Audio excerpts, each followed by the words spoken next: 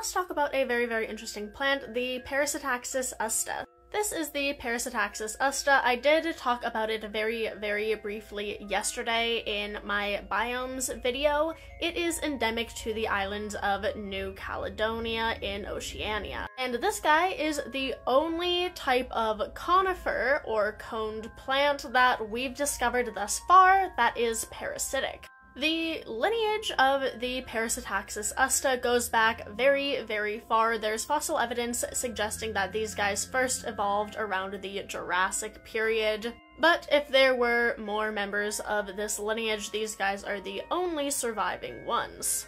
These guys are always found attached to the root system of another type of conifer that is also endemic to New Caledonia and thus is not capable of survival without being attached to that other plant. They attach themselves to the roots during growth and are capable of sucking nutrients from the roots of the host conifer into their own plant.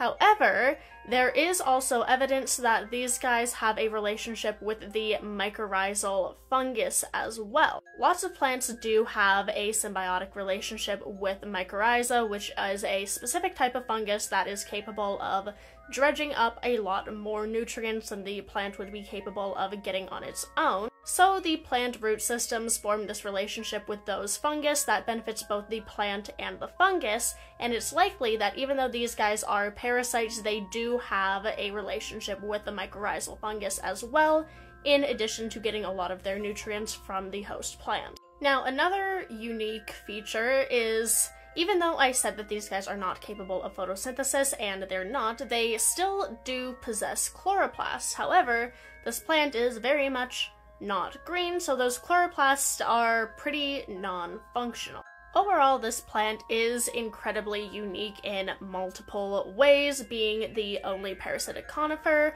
but also still having chloroplast, but also having a relationship with fungus, and a few other things that scientists are still kind of confused about how this guy actually works.